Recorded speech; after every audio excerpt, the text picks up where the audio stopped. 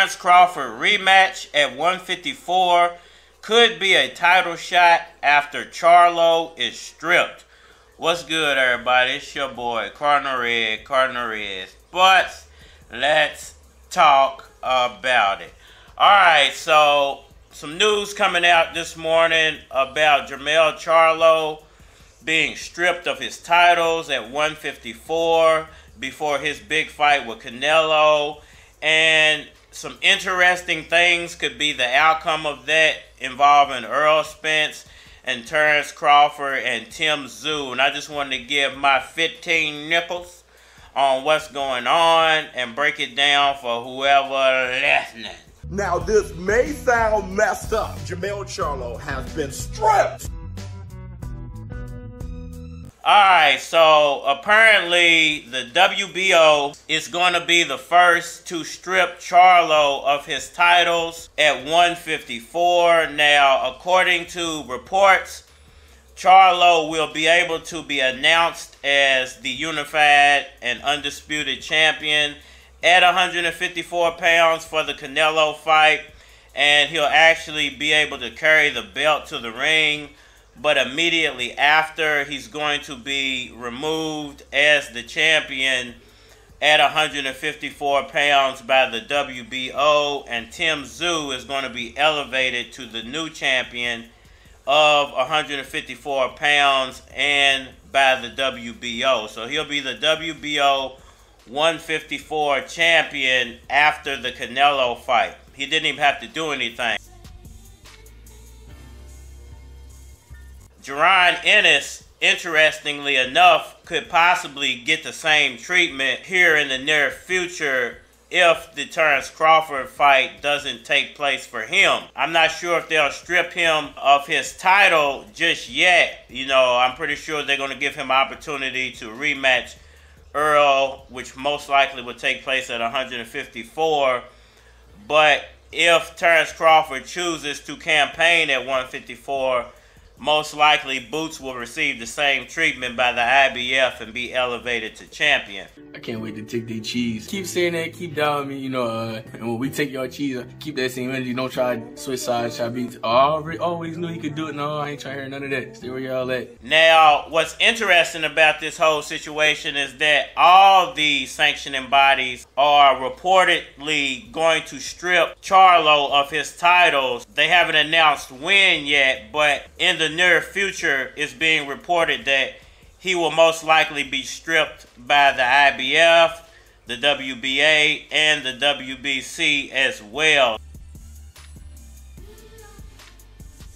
All those titles will be vacated, and there is a possibility that the rematch between Errol Spence and Terence Crawford could possibly be for one of those vacated titles. All of this is going to depend on whether Terence Crawford accepts the fight at 154 or tries to force Errol Spence to fight him again at 147 pounds. That was the best fight. That was a good fight. You know, two warriors and one showed up and one, one did. Now Crawford did his thing. He talked that talk, he walked that walk. That's what a boss does. You gotta always be nice with your hands. You gotta fight for what you love. For the title, you gotta fight for that title, no matter what the title is.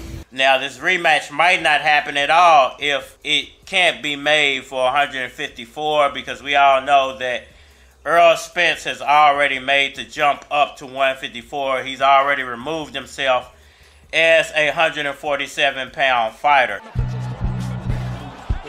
Or don't hit back. So it's going to be interesting to see how all this plays out.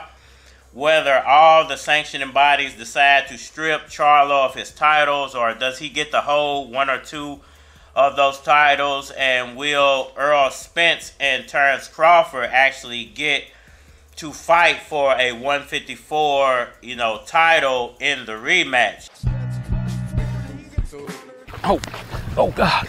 Get out my way now. I'm about to shit like a crippled coon. You know, I think the most interesting thing about all of this happening and the whole Errol Spence Terence Crawford outcome is Jaron Boots Ennis and how you know, the next year is going to play out for him because everybody knows he's the next up at 147 pounds and will most likely be a champion within the next year. Whether he has to go through Crawford to get there or not, that's a story to be told. But I think if those two guys actually do get it on, and most likely it will have to happen after the Errol Spence rematch, I think it's a great fight.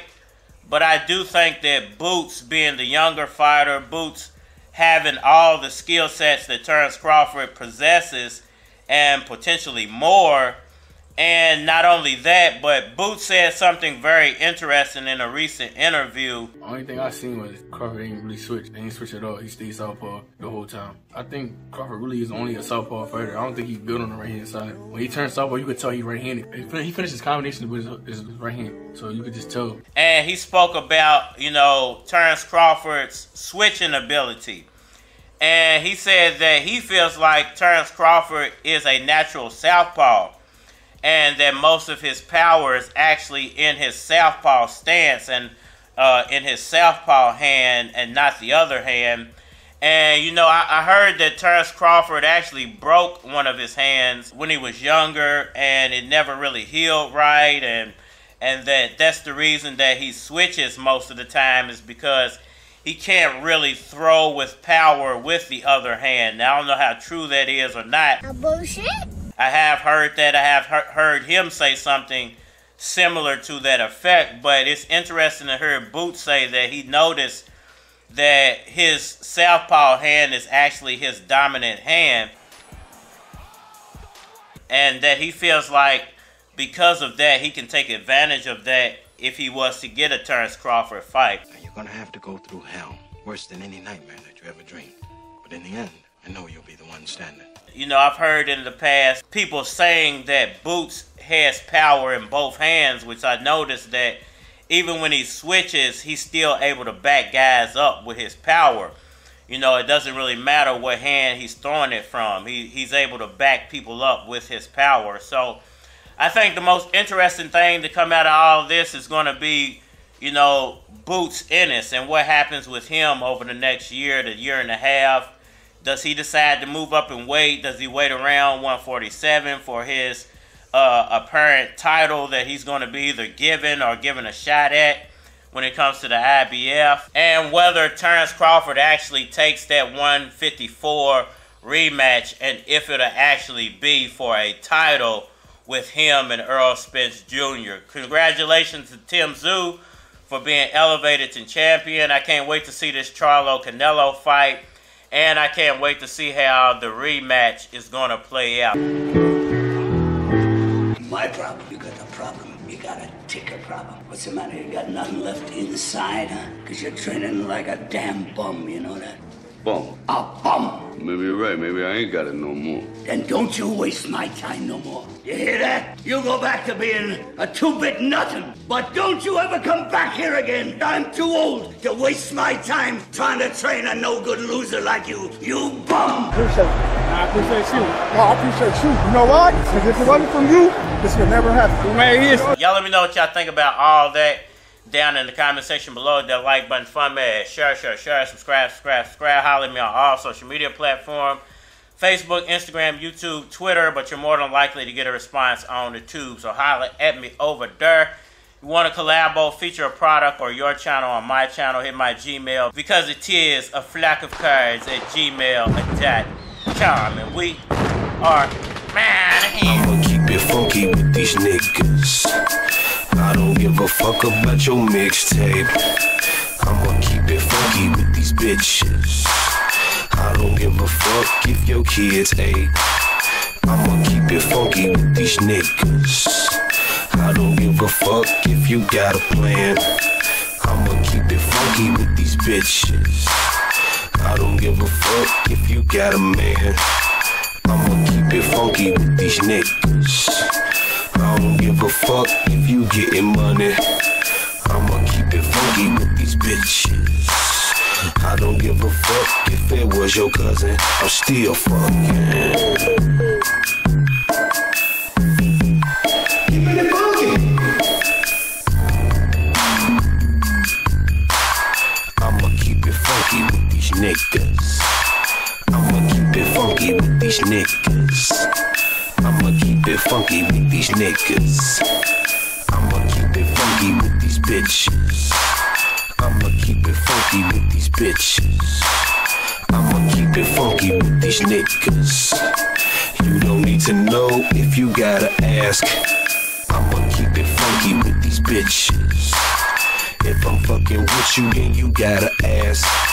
I'ma keep it funky with these niggas. Don't come to the hood, you don't have a pass.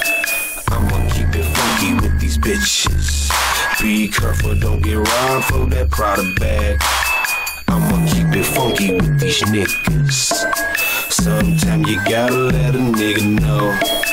I'ma keep it funky with these bitches. Every girl ain't a bitch, but every bitch is a hoe. Hey yo, I'ma keep it funky with these niggas.